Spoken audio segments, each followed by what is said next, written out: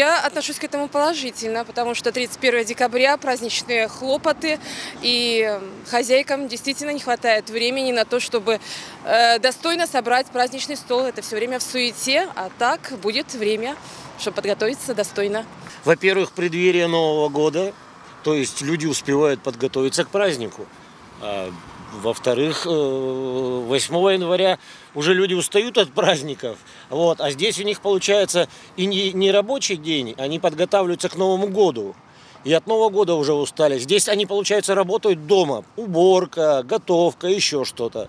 А 8 января это уже сп- сплошной отдых. Это уборка после Нового года, скажем так. То есть я считаю, это очень хорошая идея. На 31 декабря, конечно. Ну, удобнее гораздо отдыхать в праздничный день, готовиться ко всему, чем э, потом, ну, там, дополнительный день можно выйти уже на работу после каникул. Да, в принципе, без разницы. Почему? Не знаю.